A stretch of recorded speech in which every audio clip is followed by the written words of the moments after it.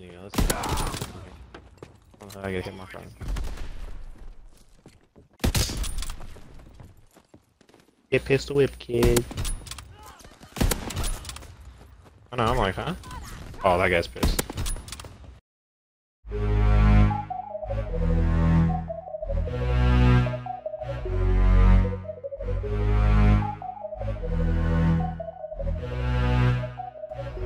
What was that?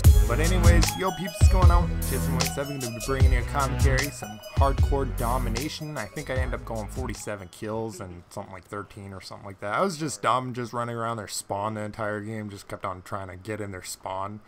It was a fun game, and it was semi-decent. It's not the best, but, you know, it's just fun, and I got to talk about some stuff. So, what is that?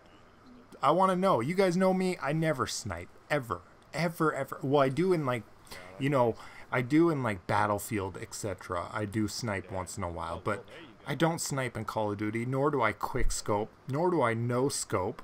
That was my first time ever running a sniper rifle, ever. And I, yeah, ridiculous. Ridiculous. That's not quick scoping. I don't know what it is. Uh, it's beyond easy.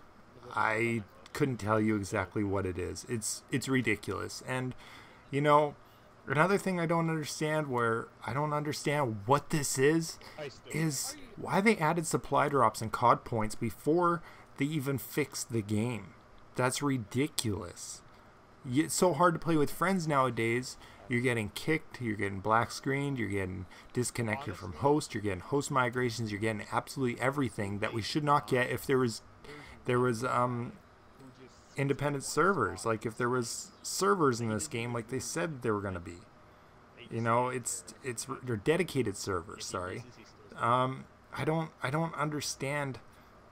There is no dedicated servers in this game. If there was, then we wouldn't get kicked when the host dashboards. That makes no sense. Another thing that we wouldn't see is your friends grab A and B flag while you're still trying to spawn in. That makes no sense at all. Call of Duty really needs to work on this game before they add stuff before people want to purchase stuff. I mean, if you guys are going ahead and you guys are purchasing stuff already, then fine, but I it, that's your choice, man. But me, no, I totally disagree. Another thing that I'm happy to hear is supply drops may become illegal.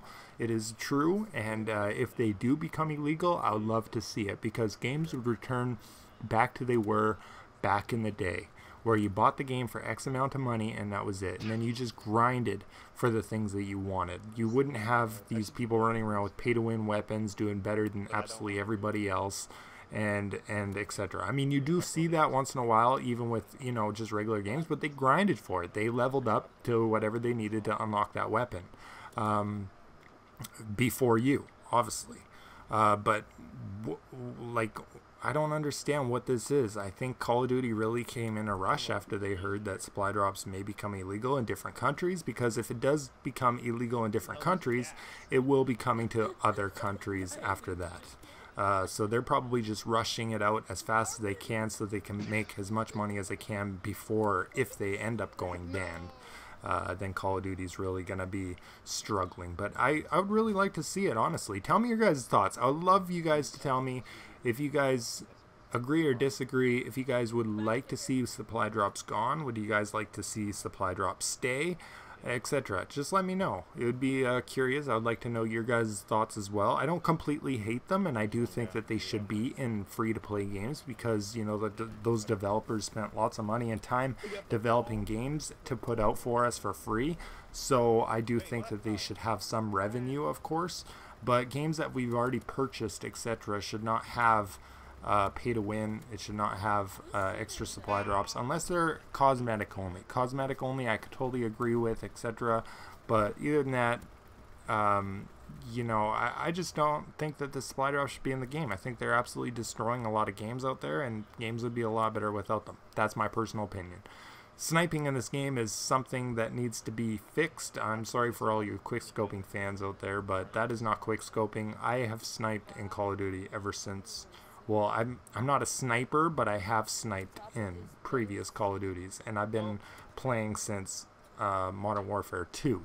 So yeah, it's just it's just I've been around for a long time. I've played Call of Duty a lot, but this is just ah this I don't understand. They will they they got to be fixed. There's no other way. They they got to be fixed, but uh the supply drops need to be fixed. The the host migration bullshit needs to be fixed. Everything needs to be fixed in this game before they add more stuff to the game, and that's what I don't understand. Another thing that you quickly guys want to know: if you guys have a good match and then it asks you at the end, "Did you have fun last round?"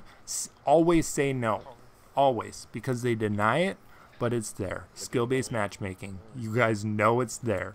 That's why they're asking you those questions. So always say no fix this game, make it like it used to be, and this game would be absolutely awesome. Till next time, peace.